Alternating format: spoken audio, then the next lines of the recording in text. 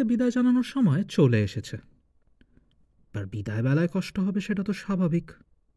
কিন্তু আনন্দ হচ্ছে এটা ভেবে যে আরও একটা নতুন দেশ অপেক্ষা করছে আমাদের জন্য। কোন দেশ? কোথায় যাচ্ছি? সেটা জানার জন্য তো ভ্লগটা পুরোটা দেখতে হবে। আপাতত সকাল সকাল বেরিয়ে প্যারিসের শেষ দিনটা ভালো করে ঘুরে নিলাম।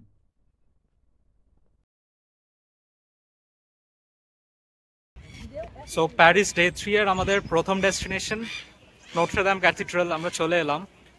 কিছু রেনোভেশন ওয়ার্ক চলছে। এই ক্যাথিড্রালটা অ্যাকচুয়ালি বানানো হয়েছিল around twelve century R it is dedicated to Virgin Mary and this is one of the finest example of French Gothic architecture বাইরে থেকে তো সুন্দর লাগছে, কিন্তু ভেতরে ঢুকতে পারব না, কারণ কি renovation work is going on এখানে ভার্জিন মেরির একটা স্ট্যাচু আছে অ্যান্ড দ্যাট ইজ দ্য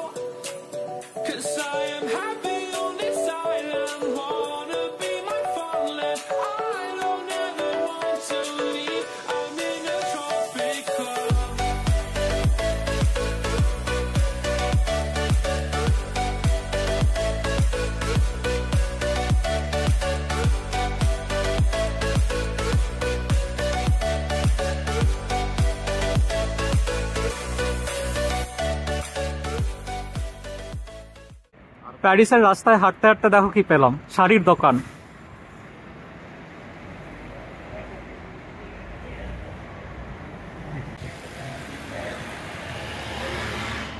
এখানে পাঞ্জাবিও আছে।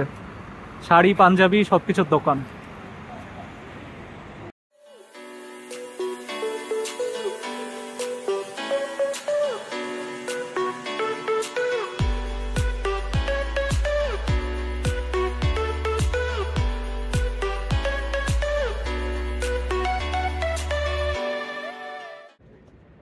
প্যারিস বা ফ্রান্স ইন জেনারেল ফ্রান্সের সব কিছুই খুব আর্টিস্টিক এখানে স্ট্রিট লাইট সিম্পল একটা স্ট্রিট লাইট কিন্তু খুব সুন্দর করে ডিজাইন করা। Even the buildings the buildings are structured beautifully মানে সব কিছুতে একটা আর্টের সুন্দর ছোঁয়া আছে।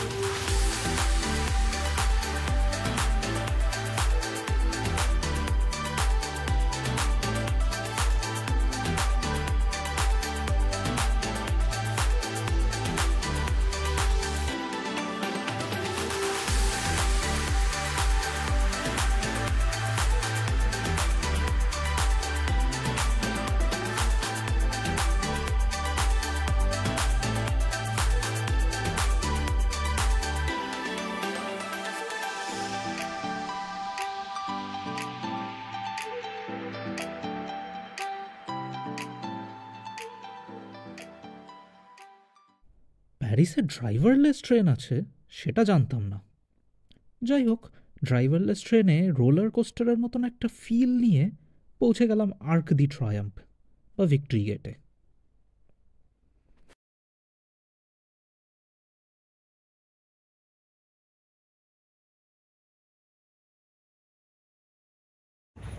এখন চলে আসছি আর্ক দ্য ট্রায়াম্পে এটা প্যারিসের খুব সুন্দর একটা মানে খুব one of the most important monuments after Eiffel Tower আর খুব সুন্দর এটার আর্কিটেকচার ডিজাইন অ্যান্ড অল খুব নিখুঁতভাবে বানানো। এটা বানানো হয়েছিল ফ্রেঞ্চ রেভলিউশনে আর নেপোলিয়নের সব যুদ্ধে। যারা মারা গেছে তাদের অনারে সো যারা মারা গেছে তাদের নাম লেখা আছে এই এই আর্ক জুড়ে পুরো ছোট ছোট করে। আর ডিজাইনটা অসাধারণ।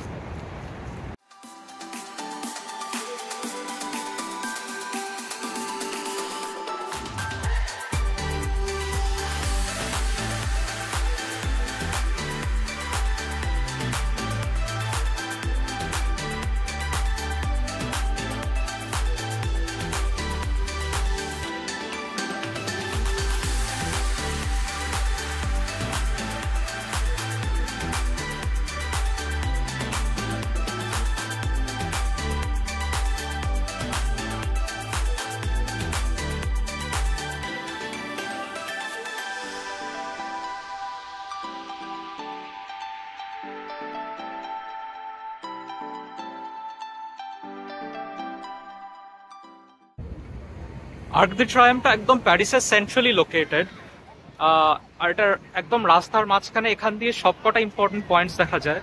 যেমন ওই যে আইফেল টাওয়ার আমার পেছনে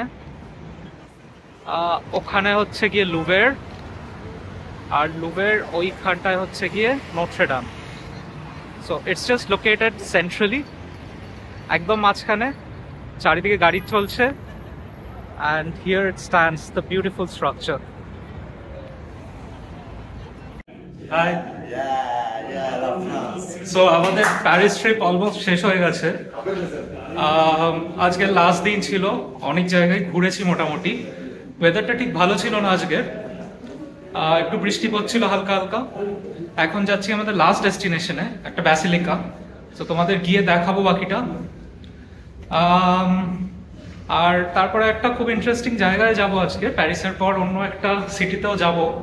সেটাও দেখাবো। এখনই রিভিল করছি না, জায়গায় গিয়ে রিভিল করব। So stay tuned to my blog দেখা হচ্ছে নেক্সট ডেস্টিনেশনে গিয়ে।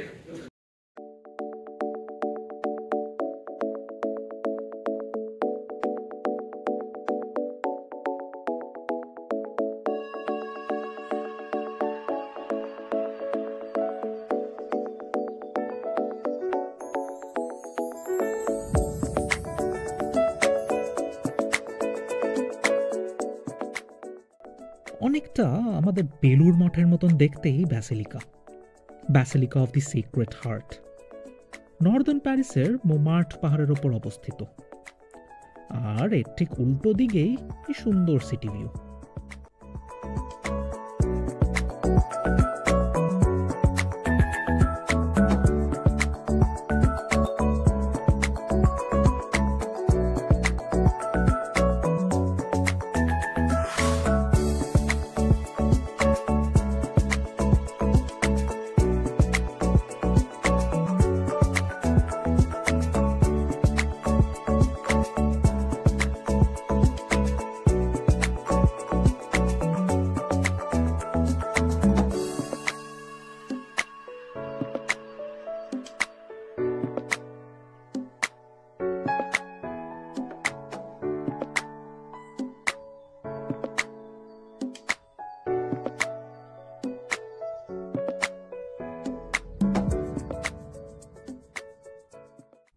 প্যারিস ঘোরা শেষ। প্যারিসের পর বাসে উঠে চলে গেলাম নতুন একটা দেশে। কোথায়? দেখে নাও।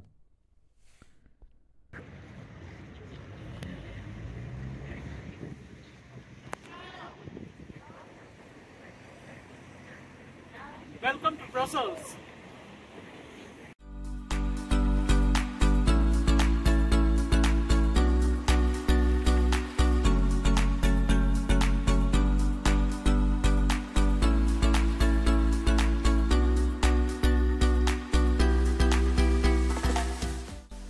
বেলজিয়াম দেশের রাজধানী ইউরোপের অ্যাডমিনিস্ট্রেটিভ সেন্টার আলোয় মোড়া সুসজ্জিত শহর ব্রাসেলস।